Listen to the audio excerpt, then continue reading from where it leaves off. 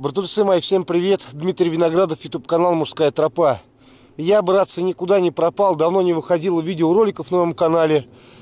Вкратце расскажу, потому что, друзья, последние четыре охоты просто были в ноли. Ничего не удалось добыть. Ну, холостые такие охоты, как бы снимать и выкладывать в сеть, ну, в YouTube не хочется, потому что много, многие потом пишут негативные комментарии, что вот, охота, дичи нет – зря потраченное время. Так что, братцы, как-то так. Сегодня я, братульцы, не на рыбалке, потому что некоторые кто-то увидит буры, скажет, а, приехал рыбку порыбачить. Нет, братцы, я приехал сегодня для того, чтобы сделать приваду, ну и сегодня также попробую посидеть на лесу. Я нахожусь на таком вот большом пруду. Леса здесь кругом активно ходит, везде ионные следы есть. У нас уже февраль месяц, все-таки уже вот-вот начнется, братцы, гон под той сосной планирую сделать себе засидку, а вот здесь посреди пруда сделать приваду, так как все-таки пруд это такое отлично светлое место, без всяких, как говорится, кустов, деревьев. И я думаю, что в ночи будет комфортно все-таки лесу увидеть, да, на расстоянии выстрела и его произвести. Сейчас, братульцы, я буду делать приваду. Показывать я это не буду, все-таки это работа не быстрая, монотонная. Но как все сделаю, я вам все обязательно покажу. Так что, братцы, заряжаем пока видео лайчинским. Подписываемся на канал, если еще никто не подписан. Ну что, братульцы, где-то час работы и получилась вот такая вот у меня конструкция. Три опоры. Каждая опора у меня уходит в лунку. Я пробурил лунки специально, чтобы они вмерзли. Сантиметров, наверное, на 30. И вот так по сторонам, братцы, все обколотил досками не стал зашивать наглухо. Пускай уж лучше, если леса будет приходить, пускай она приходит, пускай она достает, чтобы, да, она знала, что здесь можно поесть. Набил, друзья, вот эту вот всю приблуду полностью битком. Я специально оставлял шкуры бобра, вот ливер, кости, свиные ошметки. Вот так вокруг привады тоже накидал мелкие куски мяса, кости, даже пирог жена делала картофельный мясной оставался. Я тоже его здесь раскидал для того, чтобы привлечь внимание птиц.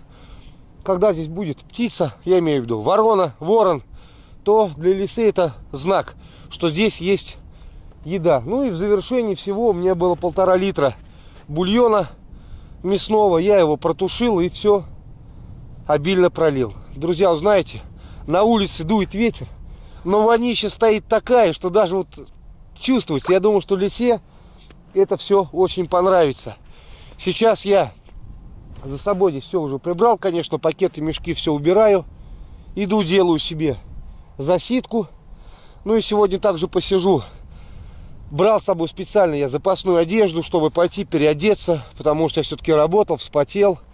Оденусь потеплей, друзья, и присяду. Ну, когда я уже пойду к засидочке, я покажу, как я там обустроился, ну и включимся в любом случае. Так что, братцы, вот такая вот привада, пишите комментарии. Я думаю, что она будет очень хорошо работать. Конечно, и возможно не сегодня, потому что только сегодня я ее построил. Зверь про нее еще не знает. Но я думаю, что в течение недели леса сюда начнет уже активно браться ходить. Ладно, убираюсь, иду в машину, пью чай и включусь на засидки. Братцы, ну что, я на месте. Не знаю, конечно, как сейчас камера видит. Вот мое место. Все, в принципе, у меня готово. Сделал себе такое небольшое укрытие. Отличный обзор. Справа поле вижу, полностью вижу весь пруд. И вдоль прудов, как бы, да, по внешней и внутренней стороны подходы браться тоже мне видать. По вооружению у меня будет моя сегодня МР 155 Дульное устройство, друзья, прогресс 0.5. Поставил именно 0.5. Патроны буду использовать на охоте. Так, азот. Гейм 0. Я думаю, друзья, 0 вполне будет достаточно. Но на всякий случай третий, четвертый патрон заряжу 2 0. Все, друзья, пожелайте мне ни пуха, ни пера. В любом случае это видео выйдет на YouTube. Если я что-то добуду сегодня, обязательно вам покажу. На приваду буду ездить часто. Дай бог, планирую. Два раза в неделю это точно ее посещать, да? Охотиться. Ну, а, друзья, все, что получится, как говорится, как Бог даст. Я начинаю, друзья, свою охоту.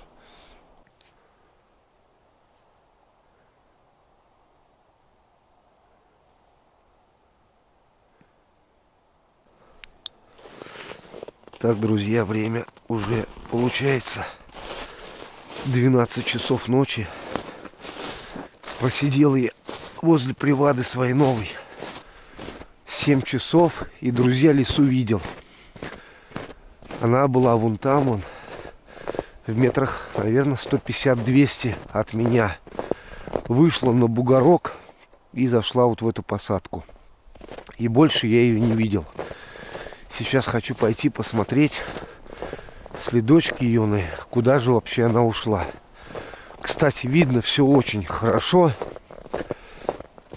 Когда сидишь, все вокруг белое. И лесу было очень отчетливо мне видать.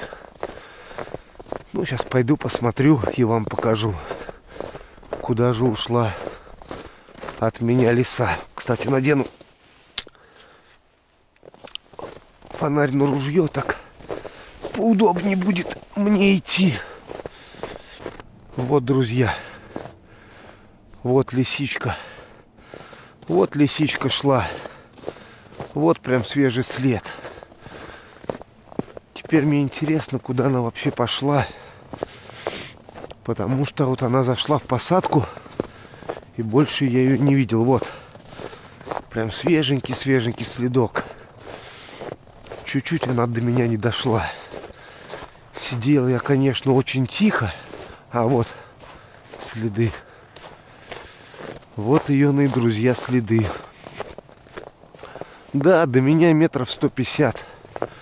Обошла вообще стороной.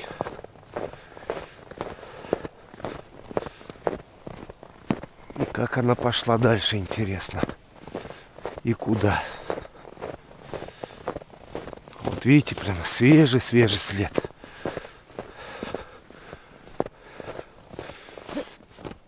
А я вон сидел и видел, как она гуляла здесь. Братцы, что я в машине посидел после того, как прошелся еще часок. Аж язык заплетается. Ну, братцы, все, уже и устал. Подзамерз, решил ехать домой. Что могу сказать по сегодняшней охоте? Что, друзья, получил очень много, скажем, таких эмоций, когда увидел лесу сердце застучало так просто в грузине, что думал, леса услышат. Ну, не знаю, надо дать времени, чтобы леса все-таки к привазе привыкла. Вы знаете, когда она вышла на лед и шла, она вот как-то прям смотрела на эту приваду. Возможно, она не привыкла, что на льду что-то, да, находится. И, возможно, ей нужно время. Ну, я думаю, дня 3-4 леса к приваде привыкнет, леса к приваде подойдет, потому что еды там очень много. Не могу аж говорить, просто от того, что на морозе посидел, просто все онемело. И язык, и губы. Так что, братцы, вот такие вот дела. Еду домой. Через три дня еду опять же сюда же. И, возможно, посижу, попробую всю ночь. Так что, братульцы, всем спасибо за просмотр. А я поехал домой.